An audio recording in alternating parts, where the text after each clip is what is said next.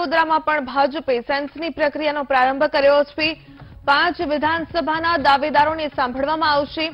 શહેરની પાંચ વિધાનસભા માટે દાવેદારોને સાંભળવામાં આવશે. નિરીક્ષક શંકરસિંહ ચૌધરી, વીણા પ્રજાપતિ, જનક પટેલ દાવેદારોને સાંભળશે.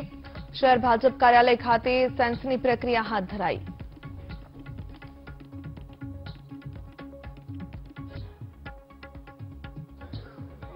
ભારતીય જનતા પાર્ટી દ્વારા આજથી વિધાનસભા વાઇઝ સેન્સ લેવાની પ્રક્રિયા શરૂ કરવામાં આવી છે.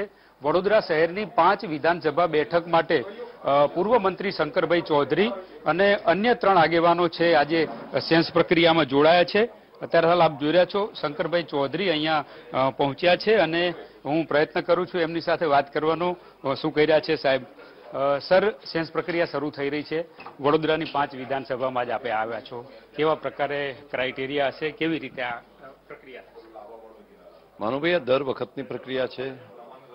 ભારતીય જનતા પાર્ટી નિરીક્ષકો મુક્તિ હોય છે મહાનગર કક્ષાએ, જિલ્લા કક્ષાએ અને એ નિરીક્ષકો કાર્યકર્તાને સાંભળે છે.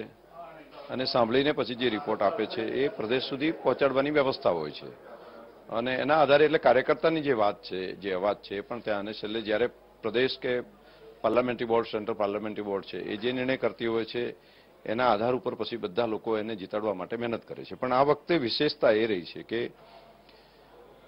ગુજરાતી સપૂત, નરેન્દ્રભાઈ મોદી અને અમિતભાઈ શાહ, આ બંને દેશને અંદર એ કાશ્મીરની કલમને જે આફતરૂપ હતી, જે હિન્દુસ્તાનના ભારત માતાના કપાળ ઉપર એક કાલી ટીલી સમાન હતી, એને દૂર કરવાનું કામ જે કર્યું રામ જન્મભૂમિ મંદિરનું ભવ્ય નિર્માણ કરવાનું કામ કર્યું. સ્ટાર્ટ શરૂઆત થઈ. હિન્દુસ્તાનના લોકોને સમાનને સ્વાભિમાન આપીને યુક્રેનને રશિયા લડતું હોય પણ હિન્દુસ્તાન નક્કી કરીને ચોવીસ કલાક માટે એનું યુદ્ધ થંભી જાય. એક એક ગુજરાતીને એક એક દેશવાસીને લાગે છે કે ગૌરવ અને સ્વાભિમાન અપાવવાનું કામ આપણા મોદી સાહેબે કર્યું છે. એમનું માન સન્માન દુનિયાની અંદર વધે એ માટે એક એક ગુજરાતી લાગેલો છે. એક એક ગુજરાતી પ્રાઉડ અનુભવે છે. અને કોઈ જ્યારે મોદી સાહેબ ઉપર કોઈ કાંકરી મારે છે, તો માત્ર મોદી સાહેબને નથી વાગતી. એક એક ગુજરાતીના હૃદયની અંદર એ ખૂચે છે. અને એટલા માટે એમના મા ઉપર ગાળાગાળી કરે. એમને ગાળાગાળી કરે.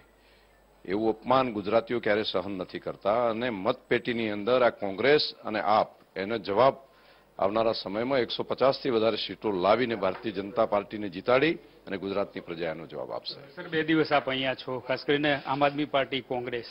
અને રહી વાત એકસો પચાસને પ્લસ કરવાની વાત છે ત્યારે. કયા પ્રકારે ઉમેદવારોની પસંદગી હશે સંભવતઃ કઈ બાબતોને ધ્યાનમાં? એના ક્રાઇટેરિયા તો અમારા નેતૃત્વએ જે નક્કી કર્યા છે એમાં કોઈ અમારી કોમેન્ટ હોય નહીં. પરંતુ અમારું કામ છે સાંભળવાનું. અને જે વાત આવશે સાંભળીને પ્રદેશ સુધી એનો રિપોર્ટ ત્યાં આગળ પહોંચાડવા માટેની વ્યવસ્થા અમારી ત્રણેય જણની ટીમ છે, એ ત્યાં આગળ પહોંચાડવાની વ્યવસ્થા કરશે. ત્રણ સભ્યોની ટીમ છે અને આજે સેન્સ લેવાની જે પ્રક્રિયા છે, એમાં જીતી શકે એવા ઉમેદવાર અને પાર્ટીનો જે ક્રાઇટેરિયા છે, એ પ્રમાણે આગળ વધવામાં આવશે. બે દિવસ દરમિયાન આ જે સેન્સ પ્રક્રિયા છે, ચાલશે અને મોવડી મંડળને આ યાદી છે, મોકલવામાં આવશે. કેમેરામેન કિશોર ક્ષીરસાગર સાથે માનું ચાવડા, વીટીવી ન્યૂઝ